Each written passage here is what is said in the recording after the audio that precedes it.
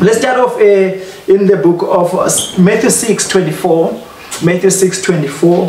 No one can serve two masters. Either you will hate the one and love the other, or you will be devoted to the one and despise the other. You cannot serve both God and money.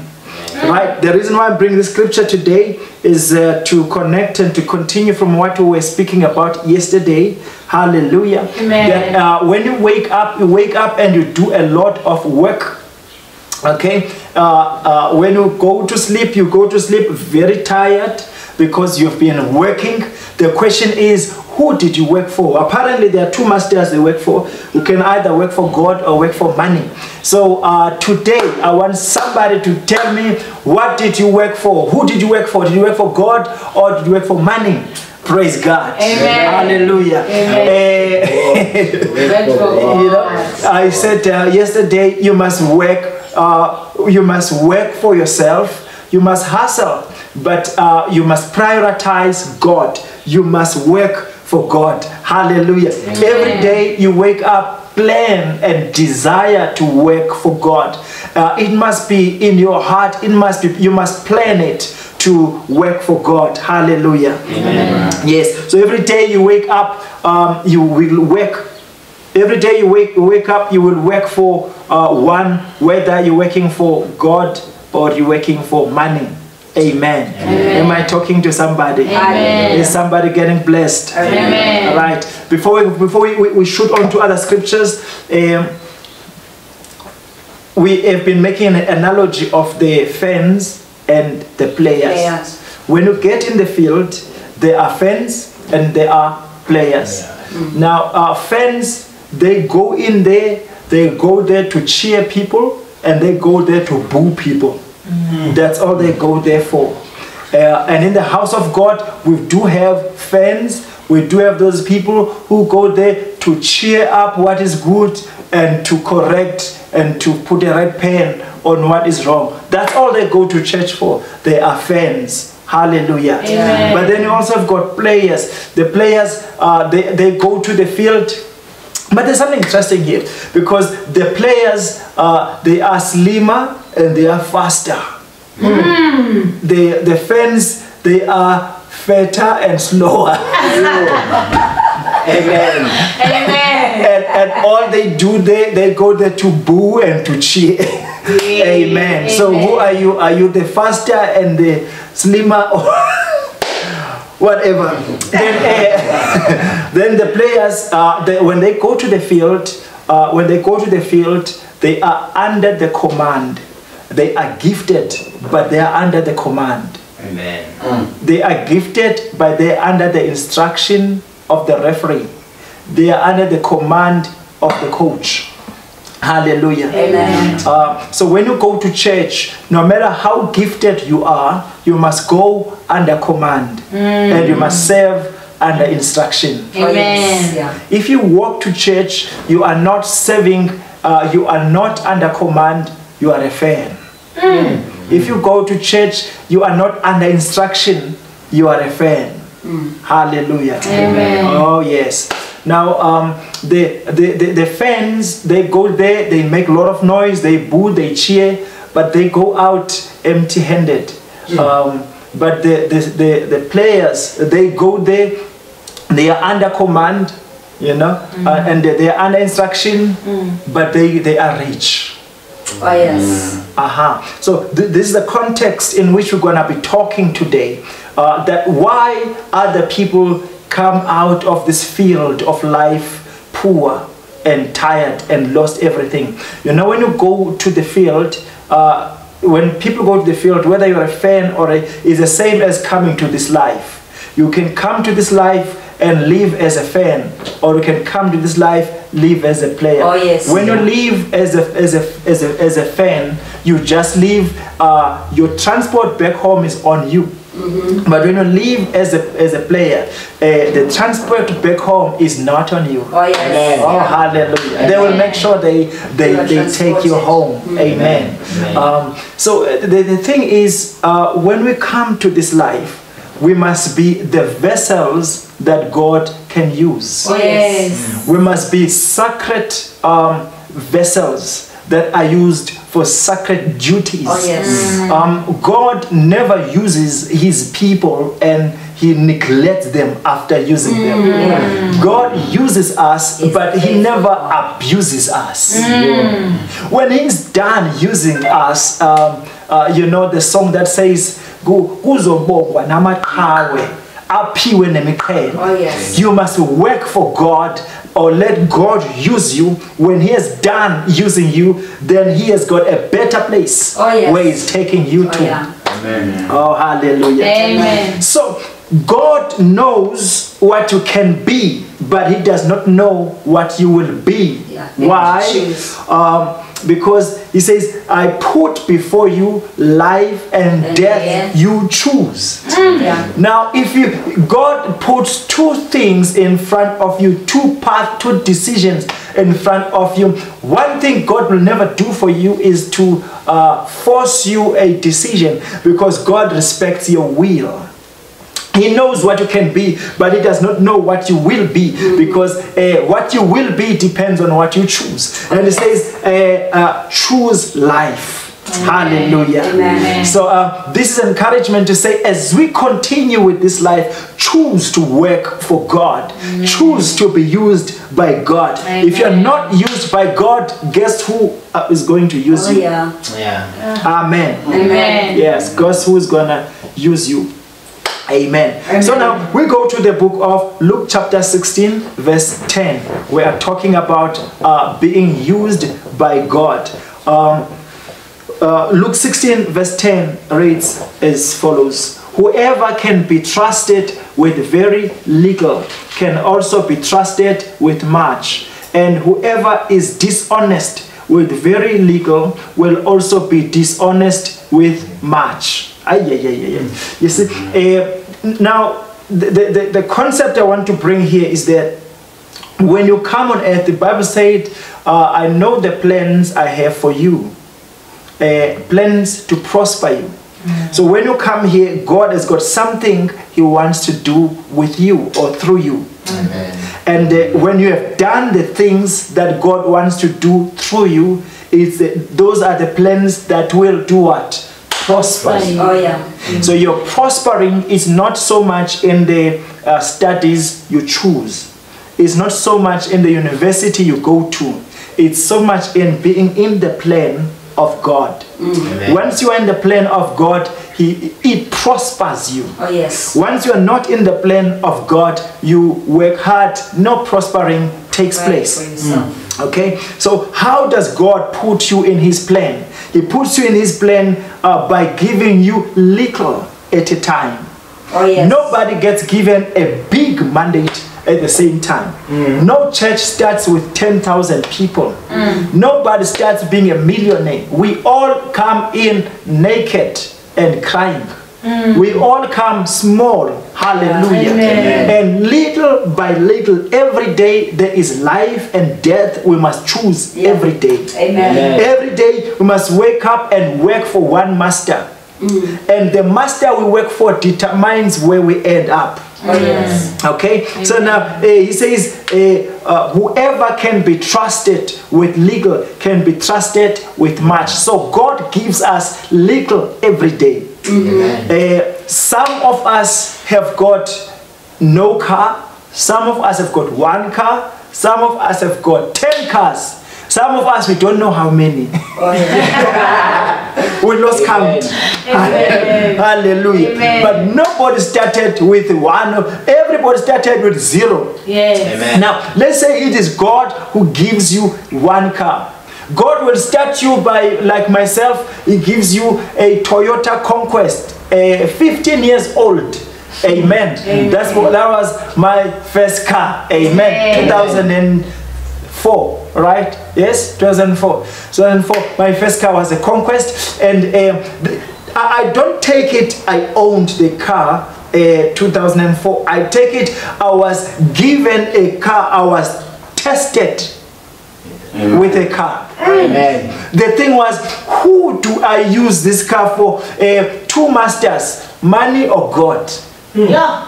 okay uh, life or death now it is up to me to decide how i use what i'm given if i use it for the lord if i can be trusted uh, with the car which is 15 years old then god will give me a car that is 10 years old Oh, yes. Amen. and he was faithful. You know, uh, you, you see, when God gives you a car and we say use it for the Lord, you are not going to uh, give lifts to angels in that car. Oh, yes. Because angels don't need a lift. Amen. Hallelujah. Yeah. You are not you're not going to use that car to transport the cross of Jesus because that has already happened. You must use that car for God's people. Amen. If you're using it for God's people, then you are using it for God. God. Because uh, He said, whatever you are doing to them, you have done it to, To me. me. Yeah. Ah, hallelujah. Amen. He said to he said to um, uh, who is Paul? His first name? What was Paul's first name? Amen. Saul, right? So Saul uh, was busy persecuting the Christians. And then uh, Jesus appears after striking by lightning and says, uh, Saul, Saul, why are you persecuting me? Where was Jesus when Saul was persecuting These people. he was not there. He was persecuting the people. People. And why, but God says, why are you persecuting who? Me. Because when you persecute my people, you persecute me. Hallelujah. Amen. So let's put this way: when you give lift to my people, you're giving it to me. Sure. Hallelujah. Amen. So uh, when God blesses you with one car, uh, I pray that it will not be 15 years old. Amen. Your first car. Hallelujah. Yes. When God blesses you with that car, use it to benefit the kingdom of God Amen. by transporting the kingdom's things and kingdom's people. Amen. Hallelujah. Amen. Eh asingasokoli bazalwane nibusisiwe ngezimoto. uNkulunkulu anibusise nisenze njalo. Amen. Hallelujah. Verse 11 continues and says, So if you have not been trustworthy in handling uh, worldly wealth, so God wants you to handle the things of this world. And then it says, Who will trust you with uh, true riches? Hallelujah. Amen. And if you have not been trustworthy with someone else's property, who will trust you? Wow. Now, this is something very important that before you can be given your own, you will be given somebody else's. Oh, yes. Hmm. Amen. Now, the question is how do you handle somebody else's? You- Because how you handle somebody else's determines if you get your own. Amen. Amen. Now we know if you don't get anything in life is because you are you still have not passed the class of handling somebody else's. Come on. You are still yeah. Uh-huh. Now, if uh, 2021 you do not have your own car, it's because you're still failing the class of handling somebody else's. Oh, hallelujah. Yeah. Hallelujah. Amen. Yes. Now I want to take you to uh, just the next few minutes in some scriptures of some people that were faithful with somebody else's property and also where they ended up. Amen. The first one, let's deal with. Uh, uh, let's deal with Mo- no, not Moses, Joshua. All right. The book of Exodus, chapter thirty-three, verse ten to twelve. Exodus 33 10 to 12. Whenever the people saw the pillar of cloud standing at the entrance, uh, at the entrance to the tent, they all stood and worshipped, each uh, at the entrance to their tent. Verse 11. The Lord would speak to Moses face to face, as one speaks uh, to a friend. Then Moses would return to the camp. But his young, but his young aide, Joshua, son of Nun, did not leave the tent. Hallelujah. Mm. So th- there was this tent that Moses was using to go and meet God face to face. Talk to God. Hallelujah. Amen. And after uh, talking to God. The Bible says when he goes to the people, his face was shining Oh, yeah. because he was talking to God. What was making his face to shine? It was because uh, there is a place where you are in God's presence. It changes how you look. Oh, hmm. yes. Hmm. There is a place when when you are with God, when you are with God in the altar, it changes your appearance. Oh, yes. Yes. You Amen. don't appear like people who have not been with God. Amen. You know now that you've been in fasting, you don't appear like people who were not fasting. Mm, amen. noma imira ingabonisa umuntu ofanayo amadimoni awaboni umuntu ongafani Ah, Yo. come on. you see, now, now that you pray, you've been praying Oh, for 21 days, Yeah. you are not the same as somebody who was eating same. and meat Yeah. every day. Yes. Amen. So Moses was not the same after meeting with God Yes. where in the tent. Yeah. Amen. And as he goes out, he is different. As he goes out, he is different. But now there's this young man called Joshua. Joshua was remaining. You see, uh, Moses would leave the tent and live different, but Joshua would remain. Mm. Now Joshua was remaining, taking care of the tent, ah. cleaning the tent. Whatever that was making Moses to shine, it was remaining more on Joshua. Ah, God. The more you work in the house of God, is the more the presence of God rubs on you. Oh, We go there, we preach, we minister, we sing, we do all those things, but there are people who remain cleaning the place. Hmm. Amen. There are people who remain packing the chairs. Yes. There are people who remain making sure the microphones are okay. Yes. Now, whatever we were experiencing, all of us for two hours, they get more of it. Amen. Hallelujah. So the more you are used by God in the presence of God, is the more something uh, st- sticks more on you. Amen. Amen. So Joshua was remaining behind.